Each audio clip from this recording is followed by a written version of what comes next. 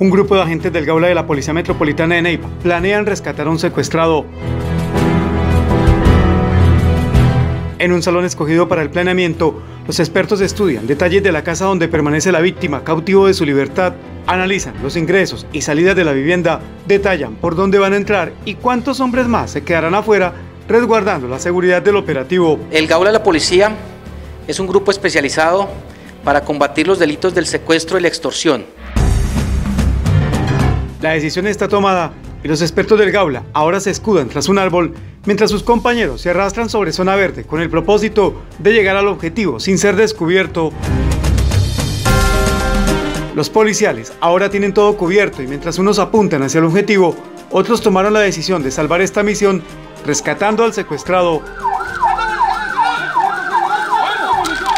Modalidades que se nos están presentando en nuestro departamento, especialmente originadas desde centros carcelarios. La paciencia, la inteligencia para realizar este tipo de operativos sin arriesgarlo, la sagacidad para no disparar y con poco riesgo lograr un resultado tan exitoso como es la de salvar la vida de una persona cautiva.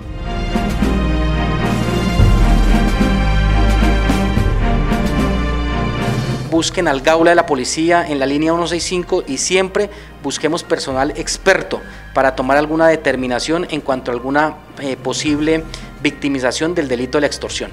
El liberado será entregado a sus seres queridos, el capturado será llevado por las autoridades ante un juez para que responda por uno de los delitos más repudiables, el secuestro. Por ahora se trata tan solo de un simulacro simulacro que en cualquier momento se convertirá en realidad cuando sea necesario salvarle la vida a una persona que haya sido plagiada.